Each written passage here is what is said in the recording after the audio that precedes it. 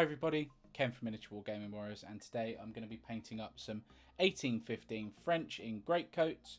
I'm going to loosely be basing these around the 96th Line Infantry. I've got the flag for them so this is one of the commands. Really looking forward to getting this done because that means the battalion's done as well.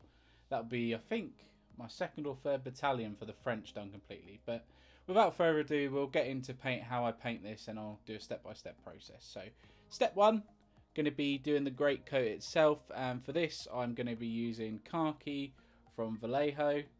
Uh, really really nice. I have primed the miniature already and for that I've used Grey Seer so I'm going to make sure to get this all around the great coat and I'll see you at the next stage.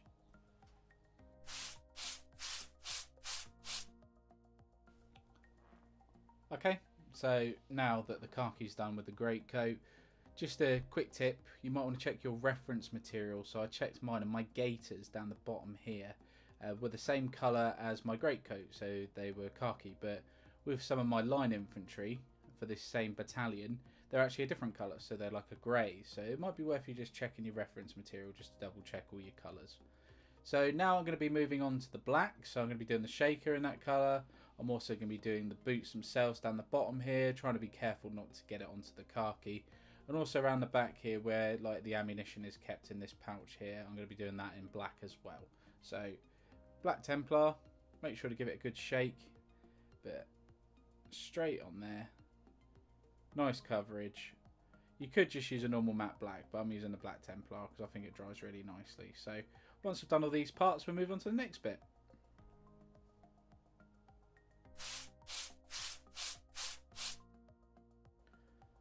Okay, so now the backpack's done. I'm going to go on to fur brown, which is going to be all over his backpack. And then if you have any bayonet scabbards uh, on your model, then this is what I would be painting them in as well. You can see all this on the reference uh, page that I've linked in the comment section and also in the video show notes.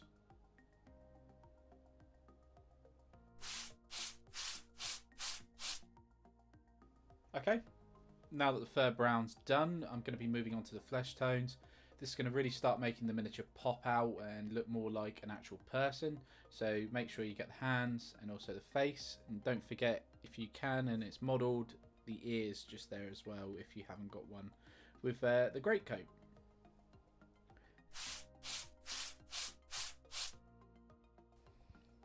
Right now, now the flesh is done, you can see definitely makes the model come to life a bit more, doesn't it? So happy with that. So for this next part, I'm switching brushes out because I use different brushes for different jobs. So contrast paints and uh, metallics, I've got a separate brush, which is this white one here. Bit of an old battered up one, but for my normal layering techniques and bits and bobs like that, I use a separate brush because I don't want all the metallic parts to dry inside this brush and ruin the ruin the tip. Um, I don't mind if it does it so much because I haven't got to be so neat with this one. So as you can see on the side here, it's like a canteen sort of thing.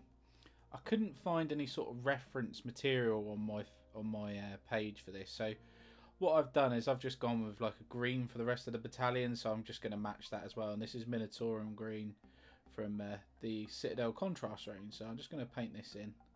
And then once that's done, I shall move on to the next part. Right now that green's done, the next part I'm going to be moving on to is actually the rifle itself. So I'm going to be painting the wood in here and I'm going to be using flat brown from Vallejo. So just making sure to get the stock. Obviously you want to try and get both sides of the rifle. Uh, the wood on both sides there and also underneath. Don't forget the underneath part because I do that sometimes. I paint both sides and then realise I've missed some under the under the back there. Um, so once that bit's done, we'll be moving on to the next part.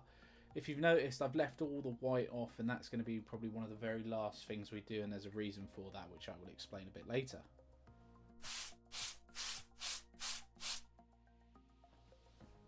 Okay, now that that's done, what I'm going to be doing is I'm moving on to like the metallic parts of the, the figure. So first colour is going to be gunmetal, and that's from the army painter. And I'm going to paint all of the uh, metal on the musket and also this model's uh, depicted with like a pan on the back there so I'm going to paint that in the metallic as well There's no more metallic on, on this model uh, for that colour. There's gold, but we'll be doing that after. So once I've done all that, I will see you again in a sec.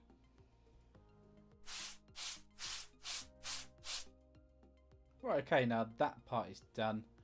I'm going to be moving on to the next metallic, which is gold. So, because this guy's forming part of my Eagle Guard, what I'm going to do is epaulets on the side here, they're going to be gold. For Voltigeurs for these, you would use like a green or a green yellow. Uh, and for Grenadiers, you would use a red. So make sure you check your reference because each battalion was different. But for these guys, the Eagle Guard have got like a gold uh, round here, and also for the standard. So uh, and we've got gold here as well. So for this, I'm going to be using Retributor Armor Gold from uh, Citadel. Reason I'm using this is because I, I think it's a really nice gold, and when you put a wash over it, it comes out really nice.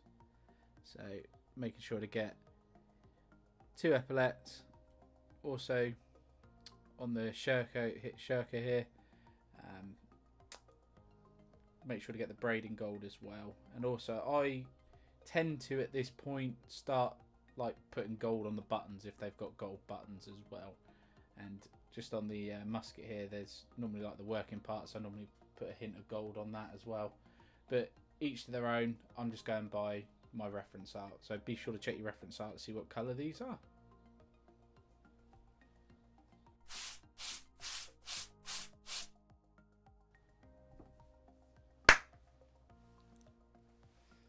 Right, okay, just a couple more steps now until we move on to the white itself. So it's kind of like a wash, but it's kind of not. so I'm going to be using the Dark Oath Flesh from the contrast range, basically to just go over all the flesh and uh, just to darken it right down. And then pre like white stage I'm gonna probably highlight it. Just spend a bit more time on the flesh tones just to make them pop a little bit. So once I've done all this we shall move on to one of the final stages and then it'll be the white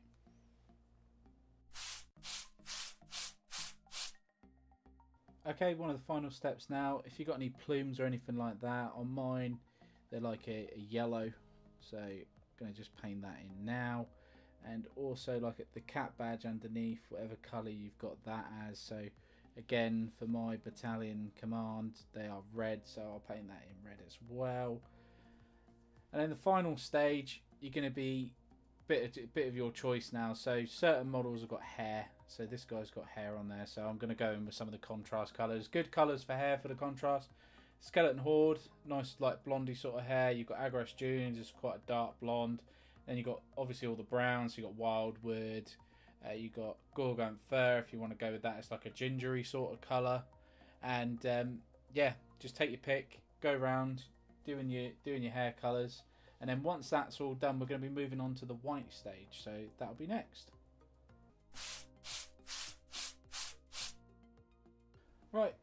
Okay, now I'm going to be doing everybody's favourite part, which is white. So for the white on this mini, I'm basically going to go in all the trousers, the cross belts, also the straps on the back, just there, and uh, make sure I pick out any straps that are on the back as well. So I'm going to give that a go now, and uh, I'm going to be using two thin coats of white, just so it uh, comes out nicely. You don't want to be going thick with this stuff. And then once this is done, we shall be applying some washes. So I'll see you in a minute.